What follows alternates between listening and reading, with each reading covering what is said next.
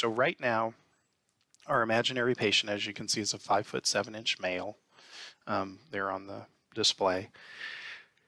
And we're ventilating him with a tidal volume of 460 cc's and a breath rate of 15.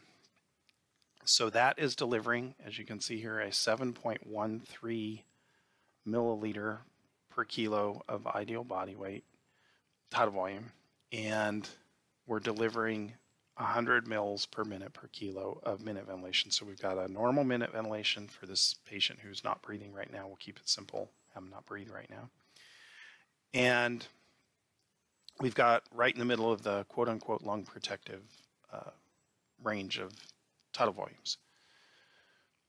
If the patient's lung gets stiffer, and I'll compress the, the test lung a little bit, you'll see the peak airway pressures will go up to continue to deliver that 460 cc's. So the patient's minute ventilation is going to stay constant, but you can see the peak pressures are going up substantially. If the patient's lung uh, suddenly becomes more compliant, I'll release the compression of the lung, you'll see the pressures fall back down. So volume assist control is maintaining that tidal volume, but it's using a lot of pressure in this particular case to do it, and we're still at that rate of 15.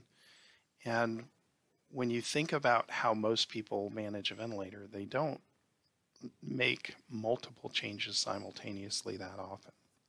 You know, if somebody needs to adjust the tidal volume and the breath rate isn't as common as adjusting one or the other, especially in the in place of carbon dioxide where they may just adjust the rate. So volume control ventilation does what we would expect most basic modes of ventilation to do, but AVM is going to do it a little bit different. So we're going to take this same 5 foot 7 inch male and we're going to switch them to AVM. Now when I touch the AVM mode, you can see all my proposed settings. 5 foot 7 inch male, you have to have the gender and height in so that it can determine the ideal body weight, and the ideal body weight in this uh, case has it at 100% minute volume targeting 6.6 liters per minute of tidal volume, or I'm sorry, of minute ventilation. And as you see, I cannot change that minute ventilation. It is determined by the height and gender of the patient. So we'll leave them at five foot seven because that's what we had before. We have expiratory trigger in auto, so if the patient wakes up and starts breathing, they'll have expiratory synchrony. That's something that wouldn't be available in volume assist control. and we'll hit apply. we do, and we jump back out to the cockpit screen, the first thing you'll notice is the waveform has changed because the ventilator is no longer doing a decelerating flow volume control breath. It's now a pressure control breath type, which is a decelerating flow um, like you would have with pressure assist control um, very much like a PRVC breath. So it's adjusting the inspiratory pressure to hit the target tidal volume, which in this case is 349 mils, unlike the 460 that we had before. and as you can see, that's producing a tidal volume of just below 6 cc's per kilo of ideal body weight. So it's at the lower end of the tidal volume range. And it picked up some on the right from 15 to 19. The peak airway pressure actually came down a little bit because tidal volume is lower. The mean is stable to slightly higher because the breath rate is up a little bit. But it's essentially doing the same thing. It's providing the same minute ventilation that we had before, but it's doing it with less pressure and a lower tidal volume. If you look at this lower graph, you'll see this box um, with the blue sphere in it. And if I compress the lung a little bit to decrease the compliance, you'll see the blue sphere fall off and then the ventilator will start increasing pressure to bring that blue sphere up to the white spot on that line, which is the target.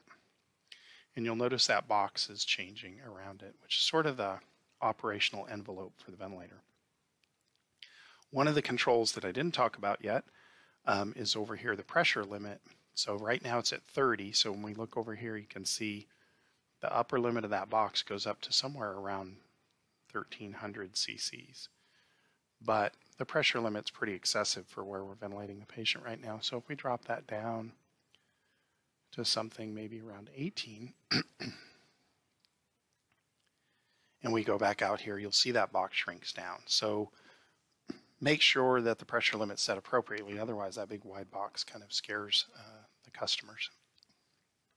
And it's impacted by the compliance of the lung and some other things that go on as well. But that little blue sphere shows you where you are relative to the target. So I just squeeze the lung again, which is why it's dropping down. You can see the peak pressure going up because it wants to get back on target. Because I suddenly release the lung, it overshot, and so it's going to walk back down. So that's what the ventilator is doing. It's trying to use this low amount of power to ventilate the patient. We're maintaining the same minute ventilation we had before, but you can see as I've manipulated the test lung, either making it worse or making it better, the ventilator flies the patient right back onto the target. I'm going to do something more significant in a minute. I'm going to significantly change the compliance of the lung. So if you watch, I'm going to reduce the lung compliance. I'm going to cut it pretty much in half.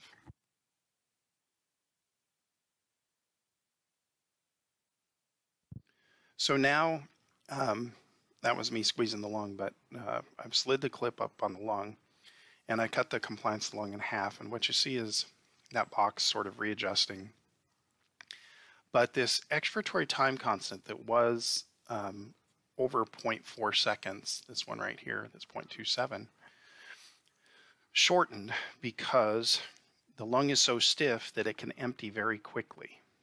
And the algorithm is monitoring that.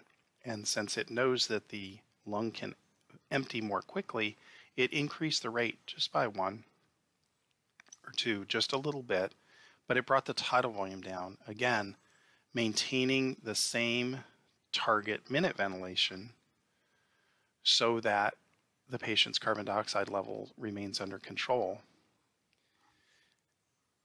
And it did that by monitoring that expiratory time constant. It wants to give at least three times the, the time constant um, to ensure that the patient has adequate time to exhale. So as the device stabilizes again, you can see we're right around that 100 mils per minute per kilo of minute ventilation. And the patient got worse, but the ventilator responded. If the patient gets better, and we'll put the lung compliance back to where it was before, you'll see that tidal volume will go up initially. The ventilator will start decreasing the inspiratory pressure down to a target to keep the minute ventilation at that 100 mils per minute per kilo. So since the ventilator is doing all this, it begs the question of, well, how do I wean the patient? Well, if you think about that patient that was in pressure assist control, if we wanted to wean them, we'd probably decrease their rate, although they're in pressure assist control. So as long as they were breathing faster than the rate, they wouldn't even know that we'd wean the rate. Most likely we'd have to switch them to a different mode of ventilation like um, pressure support, and that would allow us to control the supportive rate, make it more apparent to the patient, and um, decrease the inspiratory level of support. Well, AVM can do that simply by decreasing the percent support. So if we're out here on the cockpit screen, and you can see we're back pretty much on our target, and let's say the patient's CO2 level is low, and we want to start weaning, we can drop that. So since the ventilator is targeting 100 cc's per kilo of ideal body weight, what do you think this number in the expired minute uh, volume per kilo is going to go down to. We set it at 90, it's going to go down to 90. If we set it at 75, well, now we've reduced the support by 25%, and that number is going to go down to 75. So it's very predictable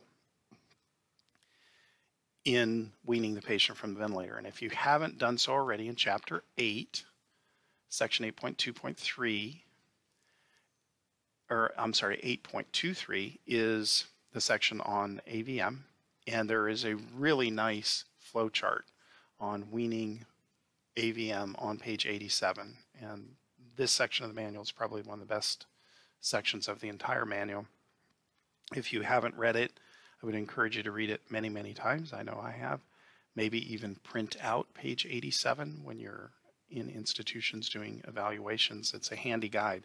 You don't try to wean it down to 10%. You really don't want to go much below about 70% because if you think about it, if something were to uh, come up with the patient, that means that their level of support would only be 70% of, if this was at 70, um, would only be 70% of a normal minute ventilation. So their carbon dioxide level could go relatively high. So be aware of that. You can see I have vent summary up available at the top.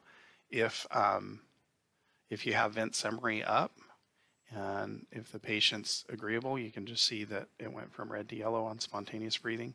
So you can still use vent summary even with AVM. So it's really kind of neat in weaning because probably many of you remember from your early years of training that you can calculate uh, what level of minute ventilation you need to, to deliver a specific CO2 for a patient. So adjusting it as a percent of minute ventilation uh, is really super simple and easy. I kind of like that. What happens if you have the patient on 100% support and their carbon dioxide level is high? And you've you know done all the things that you need to do. The patient's not having bronchospasm. Their uh, fluid volume is good. They're they don't need to be suctioned or anything. So you're going to increase the level of support. And normally most people would do that by cranking up the rate, or I'm, you know, to just increase the minute ventilation. Well, in AVM, if you increase the support, the ventilator again is going to optimize both the, the rate and tidal volume for what you're trying to achieve. So you can see in this case, the breath rate went up a little bit and the tidal volume went up a little bit. So it's now 5.7 call it, and 21 to achieve that 20% increase in minute ventilation. So you can increase it. Now you can increase it a lot. You probably don't need to do that. Um, it would be very unusual to have to go up to what this scale is capable of. Um, but it is there, and that's how you increase the level of, level of support. So you can see when you break it down into those three goals that we're trying to do with lung protection, adequate lung recruitment, and adequate minute ventilation, AVM is doing all of this, and it's doing it in a way that's pretty straightforward and simple for the clinician to deal with because once you get the patient on it, it's a matter of manipulating PEEP, FiO2, and uh, the percent of support, whether you're weaning or increasing support.